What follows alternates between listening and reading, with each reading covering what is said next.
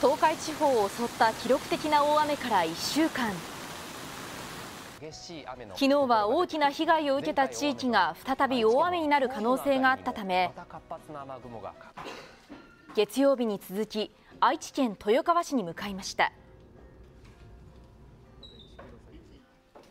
こちらは今週月曜日の国道151号の様子です。片側の車線に冠水した車が放置されレッカー車を待っている状態でした。昨日はガードレールの向こう側が国道151号です。月曜日の時点ではこの右車線に20台ほどの車が放置されていました。そして今日はですねその側道にあたるこの道に1台車が残っています。この窓ガラスの部分を見ると内側に水滴がたくさんついていて中が非常に見にくくなっています。で前方の窓ガラスから中を見てみますと取扱説明書水浸しになった形跡が分かります。地元の人によるとこちらの車は先週金曜日に水没して以来ずっとこの場に放置されたままだといいます。豊川市水戸町では先日の大雨による土砂崩れで倒壊した住宅に市の職員が足を運び現場の確認作業をしていました。現在も二次災害防止のために7世帯18人に避難指示が出されています。現場近くの住民は再びの雨に不安を口にしていました。市役所の方から降ったら必ず避難すること指示されてまして、うん、私は娘のとこ行きますからいいですけど今日だけじゃなくてずっとほらあの梅雨が明けるまでは大変だと思いますけどね。豊川市内で浸水被害に遭ったアスパラガスを栽培しているビニールハウス。大雨の影響で一旦はアスパラが収穫できなくなったのですが。1週間経ってまあ心配してたけどいいのが出てきてくれてるんで。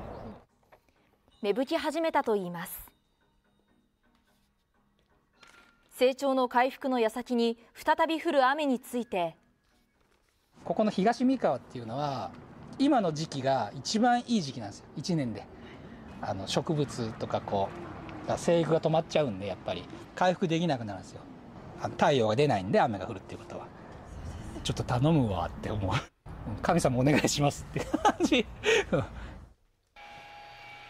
先週金曜日の大雨で一時孤立状態となった総合青山病院。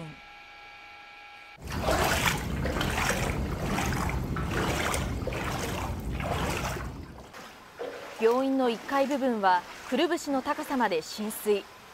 パソコンなどの電子機器の一部も水に浸かってしまっていました。その影響でエレベーターも故障。体内の状態を撮影する MRI も使えなくなってしまいました。先週金曜日の大雨から6日経ちました、はい、今の病院の現状はどうなんでしょうか？エスカレーターも昨日まで動いてなかったんですけど今日の朝から動き出しました。エレベーターも動いてます。あとはもうレントゲン機器はもう水出したってダメなのが数点ありますけどそれ以外は通常に、まあ、業者の方とかいろんな方が努力していただいて、えー、通常に動いてるんで、まあ、8割方復旧と言ってもいいだろうと思います一部まだできない診療もあるそうですが水に浸かった器具の代替機が手配できたことから火曜日からなんとか外来診療を再開できるようになったといいます。完全復旧はいつになる見通しですか、えー、とまあ数ヶ月とかなる可能性はあります。新しい機器は早急に直したんですよ。むしろ古い機器が部品がないとかいう形で修理に時間がかかるとか全てが元に戻るのがちょっとやっぱ時間かかるかな。そして昨日は大雨が予想されていたということで夜からの雨に備えてこういった医療機器を移動させているところです。えー、大切なものを浸水してしまわないように2階に今上げているということです。昨日総合青山病院は午後から休診だったため1階で使用していた内視鏡や超音波検査機器などを大雨に備え2階の倉庫へ移動させていました一方せっかく修理した MRI は1階に置いたまま移動させないといいます。というのも MR なんか部屋ごとの機械なんでそんな人間が1人2人じゃ持てませんのでもう病院という構造上1階に重い機械の電気機器が多いのは当たり前ですしそういうのは簡単に移せませんので、